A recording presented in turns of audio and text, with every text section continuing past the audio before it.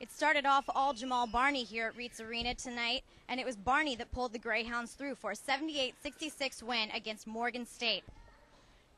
Morgan State couldn't have applied more pressure to the Greyhounds Tuesday night. There were nine lead changes just in the first half, but Brett Harvey made a clutch three pointer right at the buzzer to give the Greyhounds a one point lead to end the half.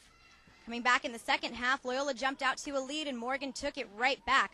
Once Loyola broke through with a lead, it was once again Jamal Barney that got Loyola through, lifting the Greyhounds past the Bears. After the game, I talked to head coach Jimmy Patsos. Jimmy, congratulations. Great start to the season with this win tonight. The first half was all Jamal Barney. The second half, Jamal Barney again, but you guys balanced the attack out a little bit more. What did you tell them at halftime? You know, I just I said, hey, we're up one. You know, I, I actually, believe it or not, I stayed positive at halftime. Um, I just, I was worried about coming off a seven-day layoff. You know, it's like you know, it's it's been a week since we played over Thanksgiving, you know, so it's not like the best holiday in the world to go home for. But we took three days off, and uh, you know, it's it's just one of those things. I think we caught them at the right time. They played a brutal, tough schedule.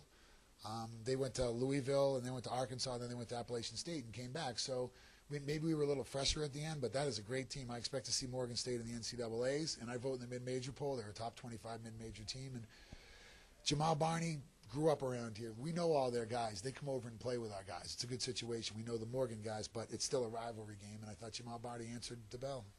So now it seems like you guys are playing very well with pressure. UMBC, and again today with teams coming up and chasing you, keeping it close.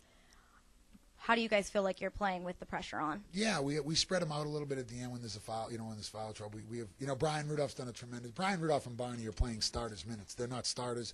So anybody wondering why? Because they're coming off the bench. We've been winning, and they're happy to do it as long as they. It's you know I hate to sound coachy, but it's not who starts; it's who finishes.